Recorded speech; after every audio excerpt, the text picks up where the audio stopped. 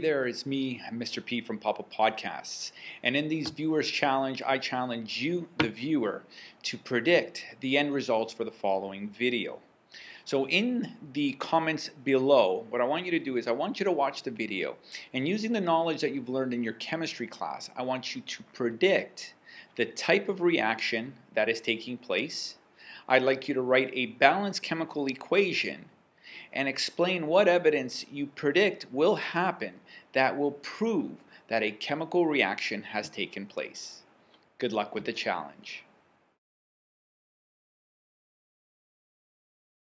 In this station here, again, goggles on, a must. You're going to have two beakers, one of potassium chloride, another one with sodium nitrate. So what you're going to do is three eyedroppers full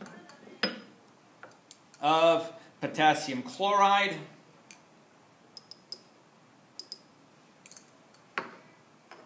And three eyedroppers full of sodium nitrate.